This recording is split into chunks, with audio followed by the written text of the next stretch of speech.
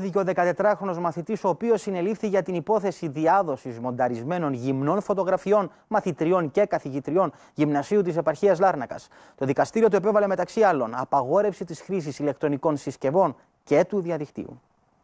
Αντιμέτωπος με το αδίκημα της παιδικής πορνογραφίας βρίσκεται ο 14χρονο μαθητής, ο οποίος συνελήφθη χθες καθώς φέρεται να εμπλέκεται στην υπόθεση κυκλοφορίας μονταρισμένων γυμνών φωτογραφιών μαθητριών και εκπαιδευτικών σε γυμνάσιο της επαρχίας Λαρναγκά.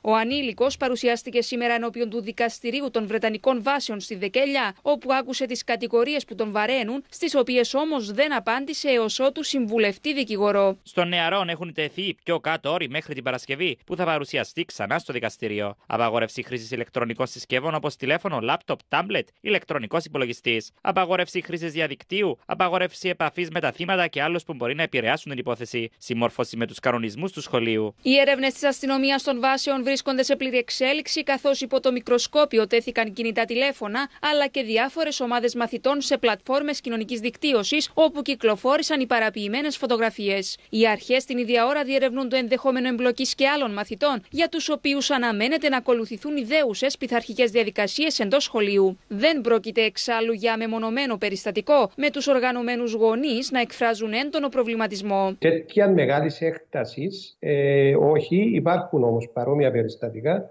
Αυτό όμως είχε ξεφύγει πραγματικά, δηλαδή είχε ξεφύγει από κάθε όριο. Σε εξέλιξη βρίσκεται την ίδια ώρα και η έρευνα του Υπουργείου Παιδείας, το οποίο ζήτησε έκθεση γεγονότων από τη διεύθυνση του σχολείου. Η Σόβια κάθριξη επέβαλε το κακό